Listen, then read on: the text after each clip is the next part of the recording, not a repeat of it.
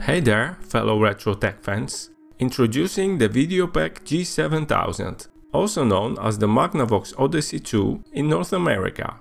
It is a classic video game console that was first released by Philips in 1978. One of the unique features of the Videopac is that it comes with a membrane keyboard that resembles a real computer. This console also comes with two joysticks. However, there are no ports on the console and the cables are attached directly to it.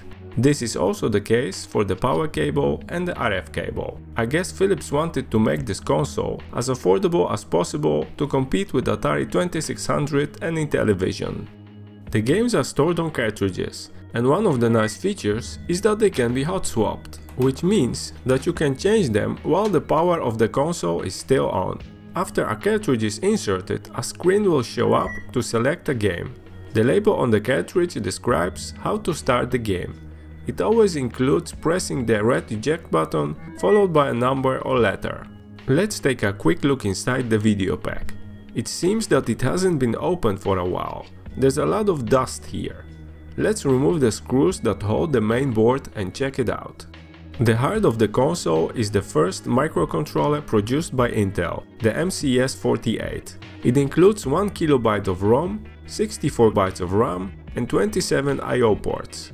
The Videopac also has a custom video processor chip that handles the graphics and sound.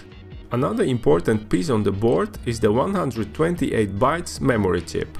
And there are also a lot of other integrated circuits that are used as glue logic. I just have 3 game cartridges here, but the system has a limited number of titles anyway, making it perfect if you want to collect all of them. Let's take a look at some of the games. This is the first game cartridge released on the system. It includes 3 games. The first one is called Race. The game is actually very responsive and very well playable with the joystick. Another game on this cartridge is a clone of the Sprint 2 arcade game, which is great to play with two players.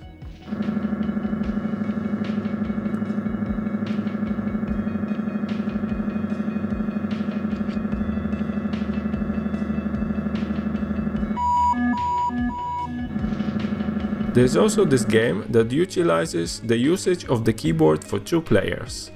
The first player enters a word and the game scrambles the letters into an anagram for the second player to unscramble one letter at a time.